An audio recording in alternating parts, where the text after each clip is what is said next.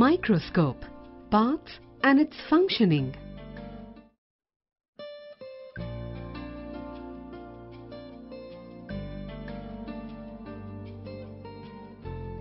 A microscope is an instrument used to see objects that are too small to our naked eyes.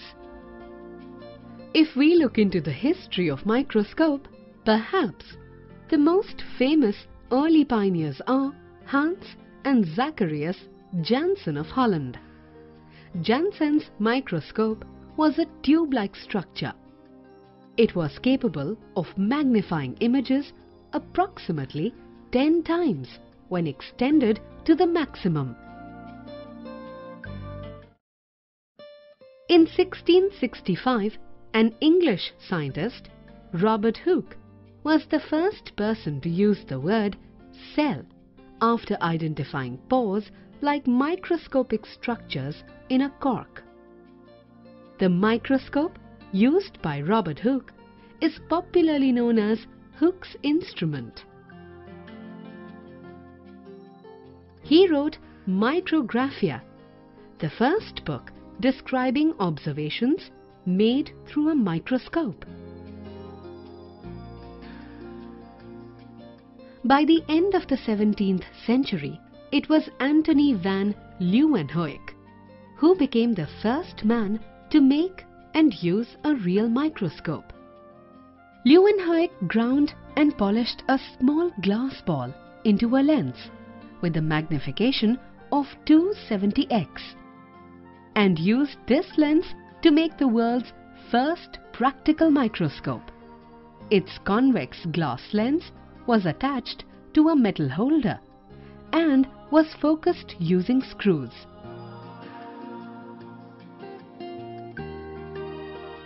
German engineer Max Knoll and physicist Ernst Ruska were recognized for the development of the first electron microscope in 1932.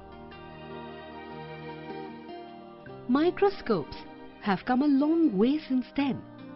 These days, compound microscopes with magnifying powers of 1000 to 2000 times are available.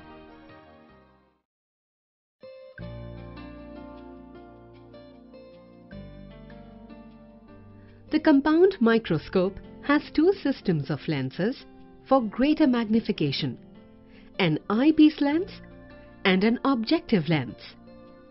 The lens closer to the object to be viewed is referred to as the objective, while the lens closer to the eye is called the eyepiece. This is an eyepiece lens. This lens is usually of 10x or 15x magnifying power. A power of 10x implies magnification of 10 times the size of the object under observation. You look through this lens for viewing the object kept under the objective lens. Objective lenses are present in a rotating mount nose piece. It holds many objective lenses. Usually they are of 4x, 10x, 40x magnifying powers. The total magnification of a microscope is determined by the product of the magnifications of the two lenses, that is, the eyepiece and the objective lens. When using a standard 10x eyepiece in combination with the three most commonly used objective lenses 4x, 10x, 40x the total magnifying power of a compound microscope ranges from 40x to 400x. This is the tube in which the eyepiece lens is fixed. There is another tube which connects the eyepiece to the objective lens holder. It is known as body tube. The body tube separates the objective and the eyepiece and assures continuous alignment of both the lenses. There are two adjustment knobs on a compound microscope. One is for coarse adjustment and another is for fine adjustment. This is the coarse focus knob. It is used to bring the object into the focal area of the objective lens. This is the fine focus knob. It is used to make fine adjustments to focus the image. This is the stage that supports the slide. A slide rests on it with the help of a pair of clips. It has an aperture in it that allows light to fall on the specimen for better viewing. This is a rotating disc under the stage known as iris diaphragm.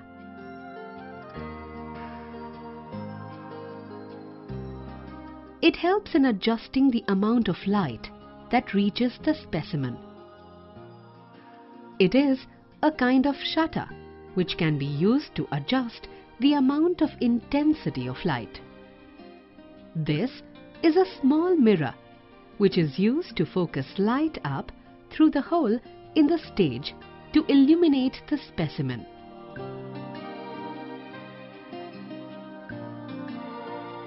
This is the base of the microscope. The base stabilizes the apparatus.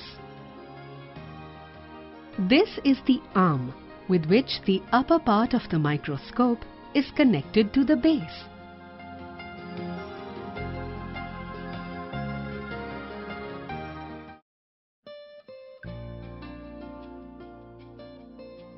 Place the slide on the stage over the aperture and gently fix the clips on both sides of the slide to hold it into place.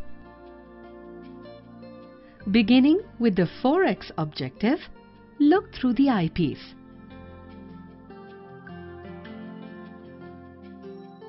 Slowly adjust the coarse adjustment knob until the image comes under focus and adjust the mirror to have more light on the slide if required. Once the content on the slide is visible, do minor adjustment with the fine adjustment knob.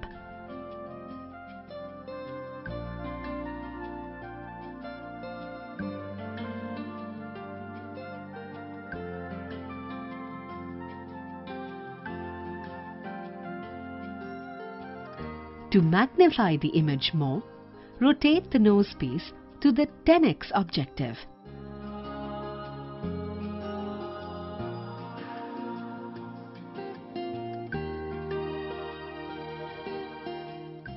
Magnify the image to the next level, rotate the nose piece to the 40x objective.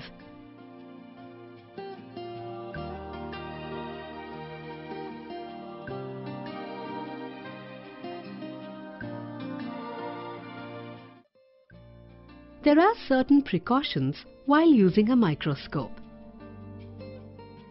When moving the microscope, always carry it with both hands. Grasp the arm with one hand and place the other under the base for support. Neither touch the lenses with hands nor try to clean eyepiece lens directly using fingers.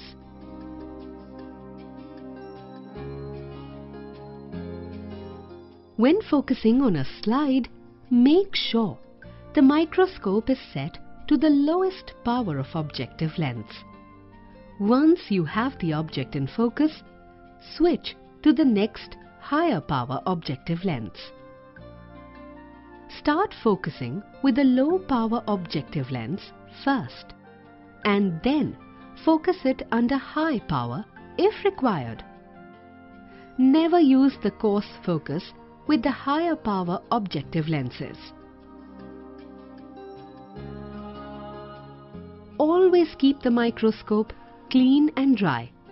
Use lens paper and the cleaning solution to clean the lenses.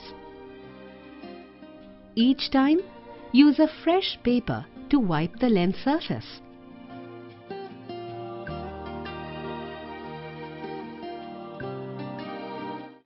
Cell as a basic unit of life.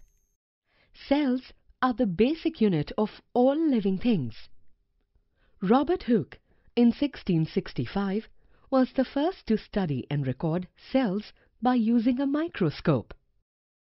Robert Brown, in 1831, discovered the presence of nucleus in a cell.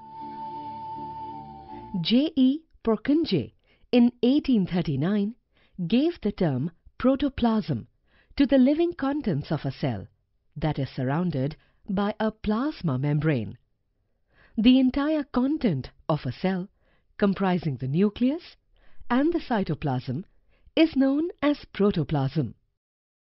In 1838, German botanist Matthias Jacob Schleiden found that all plants are composed of cells. Similarly, in 1839, Theodor Schwann proved that animals are also made up of cells. Rudolf Karl Virchow, a biomedical scientist in 1855, was the first to recognize that all cells come from pre-existing cells by binary fission. So, these last three scientists put together the principles of cell theory which are like this. All living things are made up of cells. Cells form basic unit of all living organisms. All cells come from pre-existing cells. The study of cell and its parts is called cytology. Advanced version of electron microscope has made study of the biological material very extensive and accurate. Cells are the basic unit of all living things. Cells are the smallest structural unit that can sustain all the required functions of life. All organisms are composed of cells. A cell has all the physical and chemical components needed for life.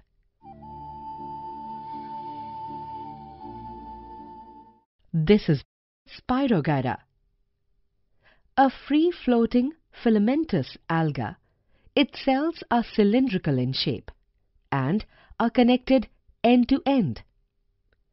The cells of an onion skin are generally rectangular in shape with prominent nuclei. This is a monocot plant. Here are the epidermal cells of this plant. Let us compare the cells with the bricks of a wall. The brick is a part of the wall that forms building of different shapes. Similarly, cells arranged in some defined pattern form tissues, which in turn form different organs of a body. Bricks arranged in a systematic manner form a wall. In a similar fashion, identical cells join and form a structure known as tissue. Just compare the organization of small units in both these structures.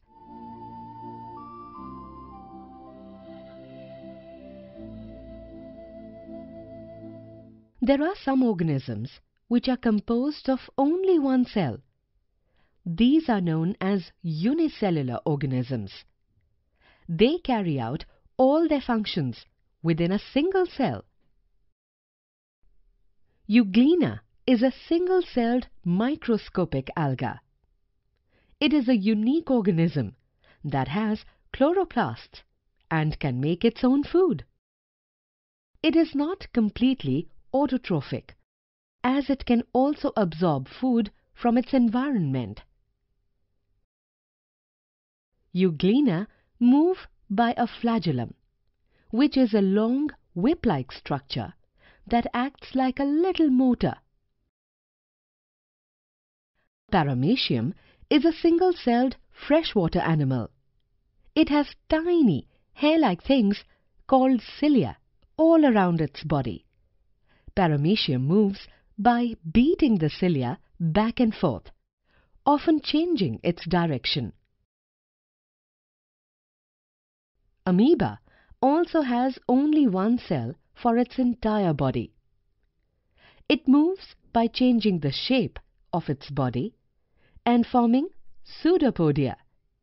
It also engulfs the food with the help of pseudopodia.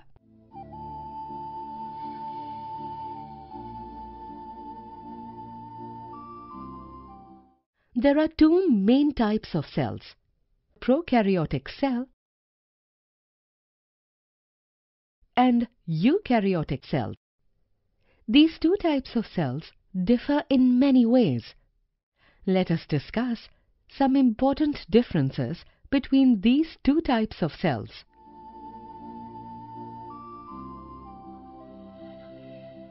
Prokaryotic cell is the most primitive form of life found on the earth.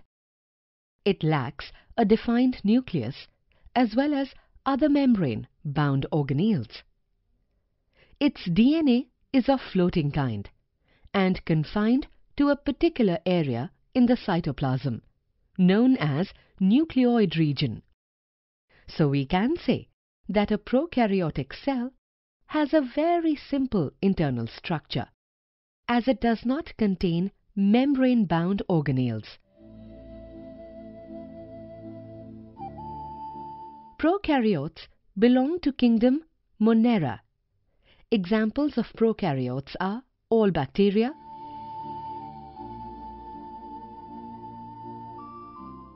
cyanobacteria, and purple bacteria.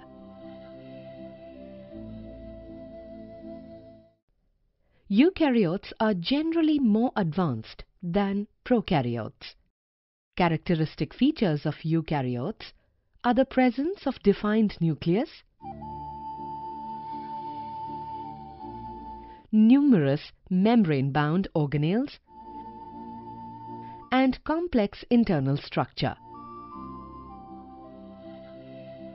There are many unicellular organisms which are eukaryotes. Most protozoa are unicellular eukaryotic organisms. Example, Paramecium, Amoeba, Dinoflagellates. Although they are unicellular but contain defined nucleus and membrane-bound other cell organelles. All multicellular organisms are eukaryotes with very well-developed cells. Like humans, dogs, trees, all these have different types of cells forming highly developed systems. Now let us do a small activity to prepare fresh mount of plant tissue. Objective of this activity is to study that living organisms are made up of cells. Procedure For performing this activity, we need glass slide, cover slip, dropper, microscope, needle, onion, iodine solution, forceps. Put a drop of water on a clean glass slide. Cut a small section from the scale leaf of an onion.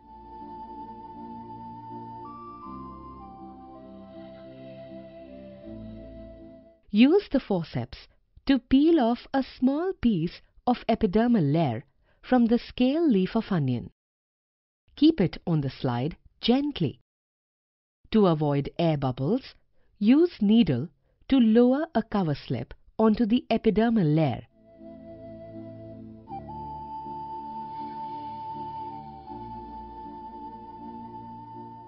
Look at the unstained slide under the microscope. Microscopic view of an onion skin shows several rectangular cells, each with a small spherical nucleus. Add a drop of iodine between the cover slip and slide to obtain a stained view of the epidermal layer. Now again look the epidermal layer through the microscope. nucleus becomes slightly more prominent with iodine. The cells have definite shape. This is because of the presence of cell wall. Observation When the slide is viewed through a microscope, rectangular shaped cells of onion peel are visible.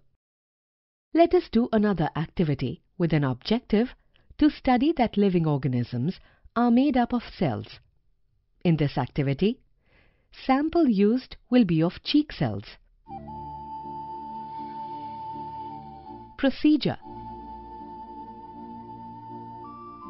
For this activity, we need glass slide, cover slip, dropper, microscope, needle, toothpick, methylene blue solution.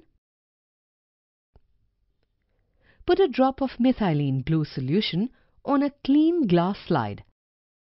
Gently scrape the side of your mouth with the blunt side of a toothpick.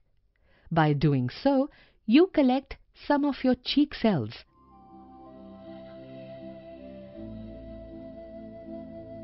Transfer the scraping onto the drop of methylene blue solution kept on the glass slide.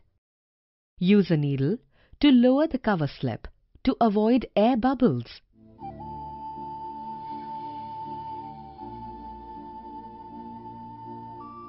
Set it under a microscope. Observe the cheek cells. The nucleus and cell membrane are clearly visible. These cells are irregular in shape, unlike the rectangular shape of the onion cells. Observation When the slide is viewed through a microscope, irregular shaped cheek cells are visible.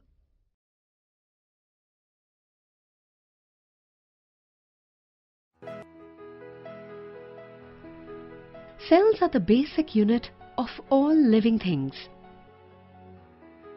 Most of the cells have three common parts. Cell membrane,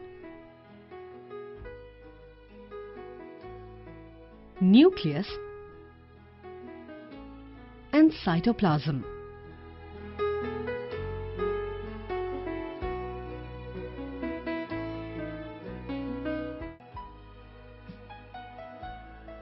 This is the nucleus. It is the most conspicuous organelle found in an eukaryotic cell. The nucleus is separated from the cytoplasm by a membrane called the nuclear envelope.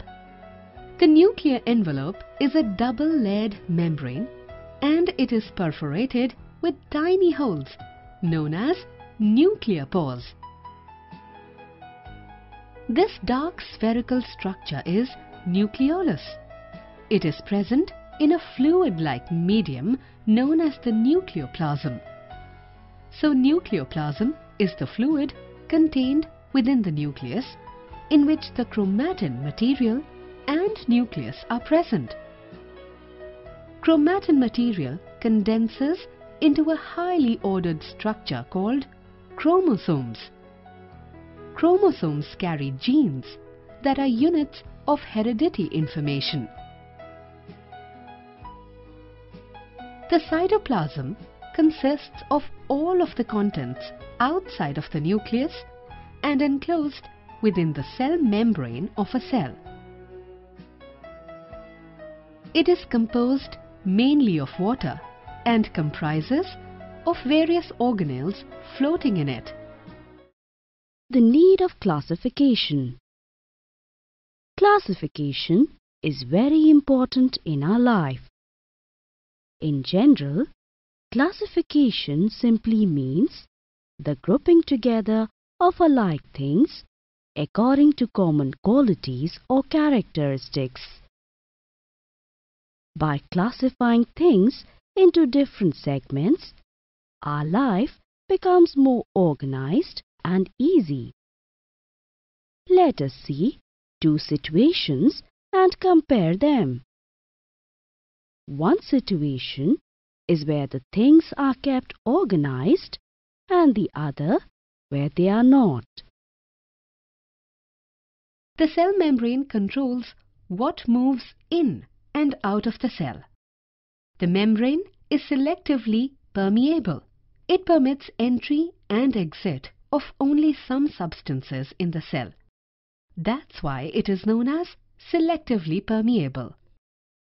The movement of substances across the membrane usually takes place through diffusion. Diffusion. It is basically a spreading out process. Diffusion allows the movement of particles from an area of high concentration to an area of low concentration. For example, if you drop some ink in a beaker of water, the ink particles would end up spreading out eventually becoming evenly spread out throughout the container of water. After this point, the ink particles would continue to move spreading to get evenly distributed throughout the water. Plants also exchange the gases through diffusion. The gases diffuse into the intercellular spaces of the leaf through stomata, which are present in epidermal cells. Once the molecules diffuse, they move to the cells that require them. Facilitated diffusion the molecules, which are not lipid soluble, are transported with the help of some transport proteins. This type of transport is known as facilitated diffusion. During facilitated diffusion, transport of the molecules is carried out with the help of some carrier proteins. During facilitated transport, carrier proteins assist in moving these large molecules across the cell membrane down its concentration gradient. Like diffusion, no energy is required to transfer the molecules during facilitated diffusion. Sometime, even the carrier protein changes its shape temporarily to deposit the molecule on the other side.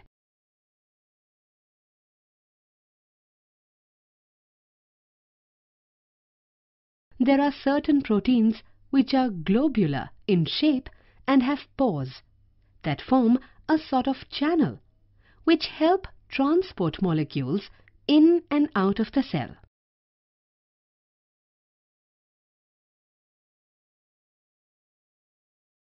Diffusion and facilitated diffusion both are passive type of transport and do not require any expenditure of chemical energy.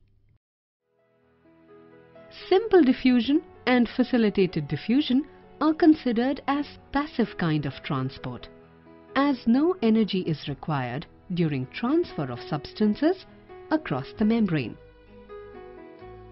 There is another type of transport in which energy is used. Such transport is known as active transport.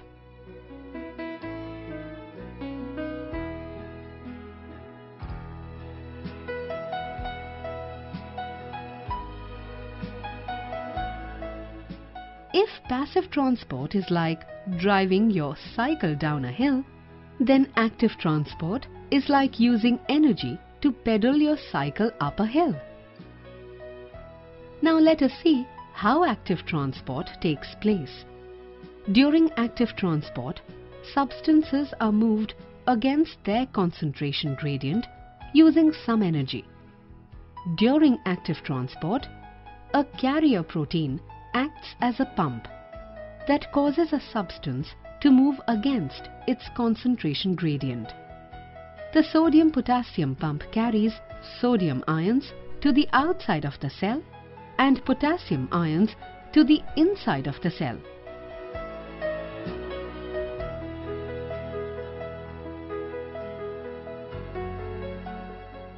Energy in the form of ATP molecules is required for active transport to occur.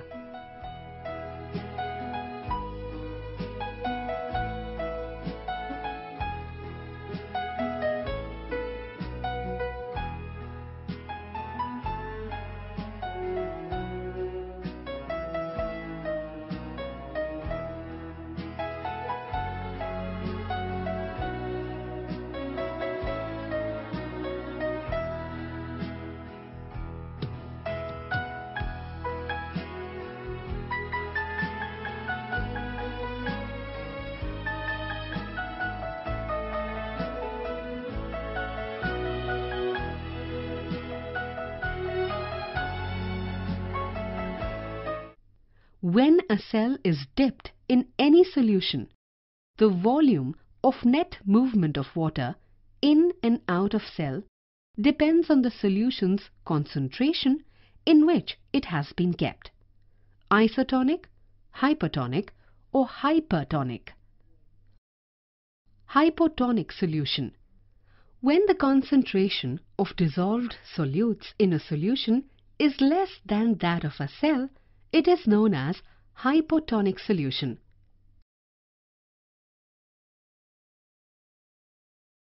Animal cell, when kept in hypotonic solution, swells up due to inflow of water.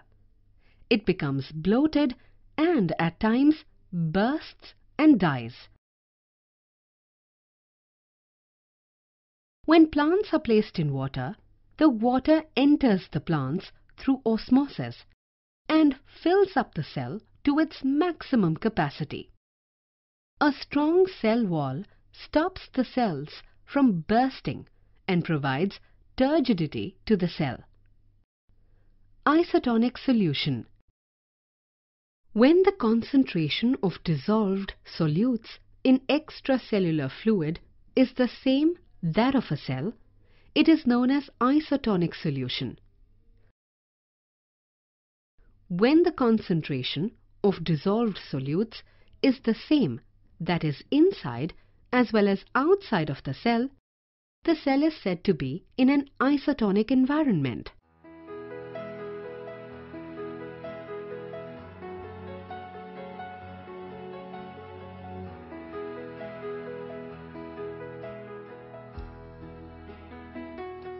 This creates a dynamic equilibrium that maintains the status of the cell. Hence, no change takes place in the shape of the cell.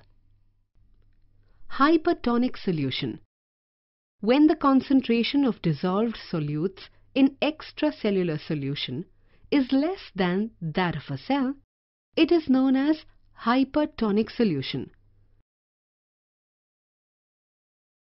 Animal cell, when kept in hypertonic solution, results in crenation where the shape of the cell becomes distorted and wrinkled due to the loss of water by the cell. When a plant cell is placed in a hypertonic solution, the water inside the cells is drawn out by osmosis. The vacuoles decrease in size. The cytoplasm also shrinks away from the cellulose cell wall and the state of the cell is known as plasmolysed cell. This causes wilting in the plant.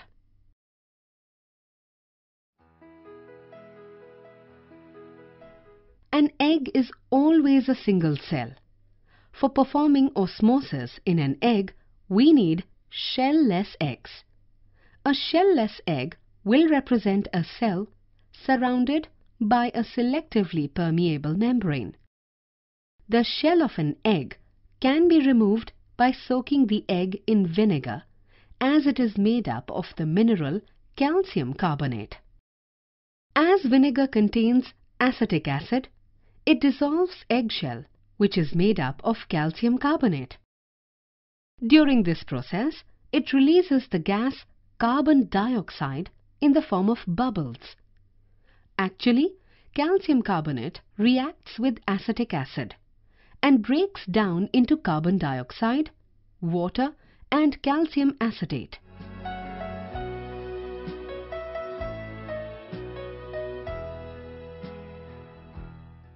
After the shell has been dissolved, only the membrane remains around the egg. Remove the eggs from vinegar and rinse them gently under the tap water.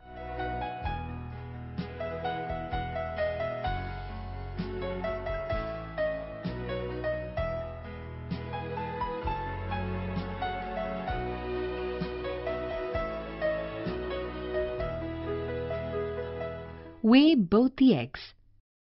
Egg A weighs 98 grams and egg B weighs 102 grams. Put egg A in hypotonic solution, say water. Dip the egg B in hypertonic solution. It can be thick sugar solution or salt solution in water. Leave overnight. Rinse and weigh again.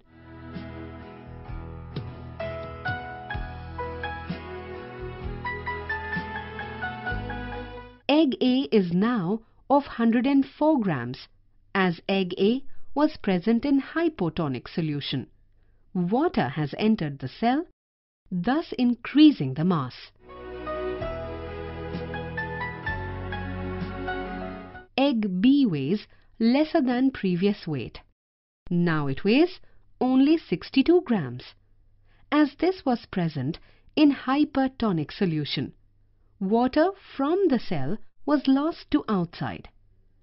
Due to the loss of water by the cell, weight decreased drastically.